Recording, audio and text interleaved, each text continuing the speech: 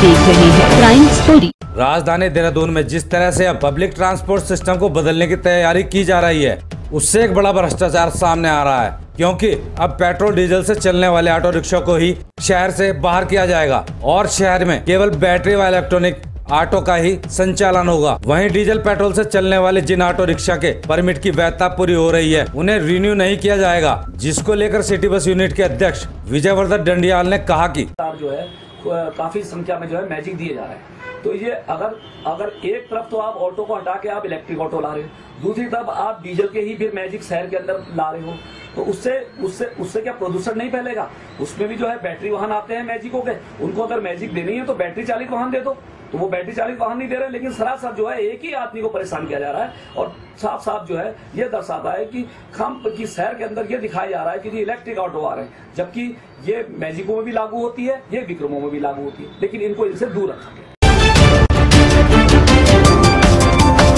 आप देख रहे हैं क्राइम स्टोरी